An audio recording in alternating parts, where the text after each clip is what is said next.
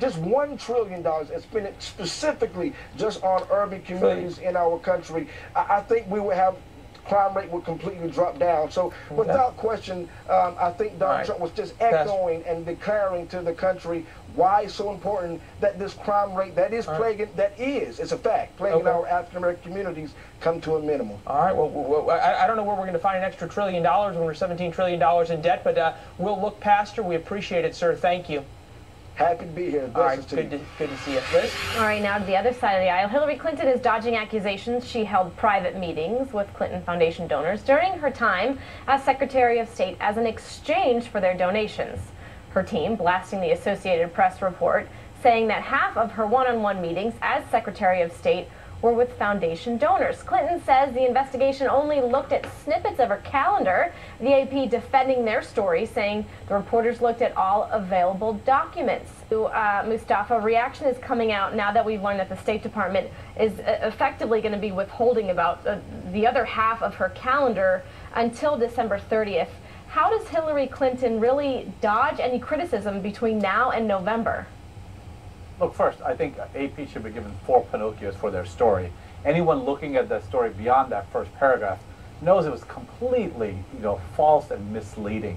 When you look at 153 people, uh, any Secretary of State, Hillary Clinton or otherwise, in two years, you know they've seen over a thousand folks. So it, it was a, it was a wrong story.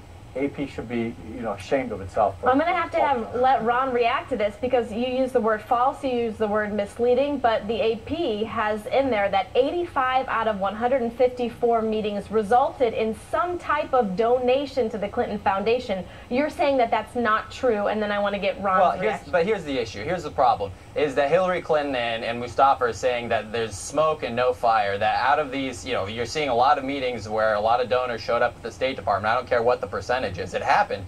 You're saying that there's all smoke and no fire. Here's the problem: Julian Assange is coming out and saying, "Hey, you know, maybe I do have the fire, and we have more stuff to release."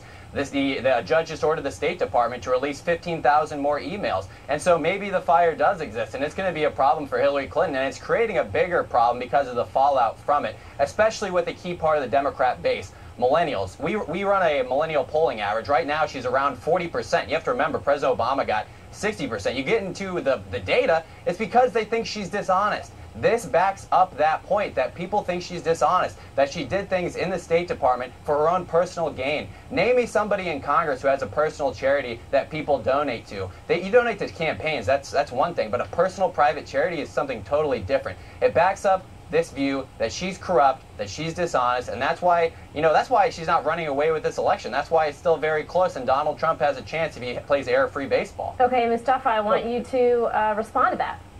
Uh, look, one, she's a double-digit lead, so she, she's very far away from Donald Trump. But th- look at the look at the evidence that they pointed out. They said there was a meeting with Muhammad Yunus, who's a Nobel Peace Prize winner, uh, who founded modern, you know, micro lending across the world. And they said there was a, a meeting with a banker and a donor. This is ridiculous. And once you read beyond that first paragraph of AP, you realize it. And I think that, uh, again, I think AP should be ashamed. And I know they're rolling back their story quite a bit from what they originally started. But getting back to the other part, Hillary Clinton has been working on this her entire career. And the charity, they've not taken any money from it, personal money from the charity. They- They've been doing good around the world. And to, to denigrate the work they've been done, they've been saving lives, uh, lifting people out of poverty. These are important things that have to be done. Now they, so the now, word. so now they care about classified information and Hillary Clinton. Now they do, right? Nothing mattered when she had her own private email server, Well, but now they're Hillary would combing want to make those- sure. Hil- And we say, and hold on, can I? out All as soon as possible. All right, Okay, Ron, you can have the last word, and then we have to wrap it up. Thank you. Okay, this is why you know Jason Chaffetz is saying when he gets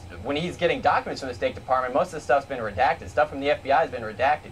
Here's the issue. You know, Mustafa, you might be one of the one in three Americans that think she's honest. Thirty-three percent. That's not very much. And here's the thing: is that you know what Donald Trump is staying closer in the race, and because of this issue, it's because people don't think she's dishonest. And it's really sad state for American politics when it's a race to see who's either disliked or distrusted the most. It's a sad state of American politics. She should be above this if she really thinks she's going to be the next president of the United States. Ron Mustafa, I wish we had more time. I'm going to have close. to wrap it up. Thank you so much for joining us, gentlemen. We appreciate it. I hope we continue this conversation.